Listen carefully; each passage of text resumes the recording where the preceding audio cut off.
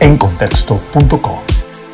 Y estoy defendiendo a los artistas callejeros que están siendo embajadores de nuestra cultura, pero que son incómodos para el distrito de Cartagena de Indias, lo cual me parece insólito. Ellos tienen derecho a defenderse y yo estaré apoyándolos. El distrito está simplemente impidiéndoles el ejercicio de su actividad profesional. Ellos danzan, cantan y muestran la cultura colombiana. Y el distrito de Cartagena no desea que ellos lo hagan.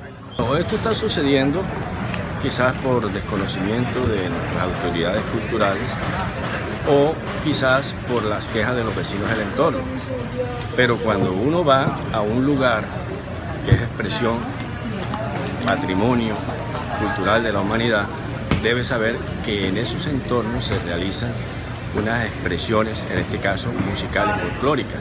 Somos actualmente somos tres grupos que durante 18 años hacemos la muestra folclórica en las diferentes plazas del centro.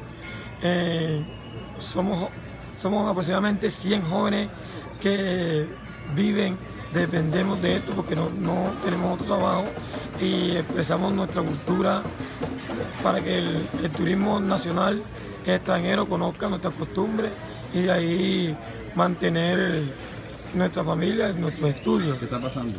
Bueno, ahora actualmente está pasando que el nuevo código de la policía no nos permite trabajar, no nos permite hacer esas muestras típicas que nosotros hemos mantenido durante 18 años.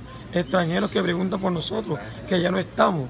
Ya hace aproximadamente un mes no podemos ejercer, porque ellos dicen que en el sector, en la parte que nos presentamos, estamos predicando al a las personas que viven en este espacio. En contexto.com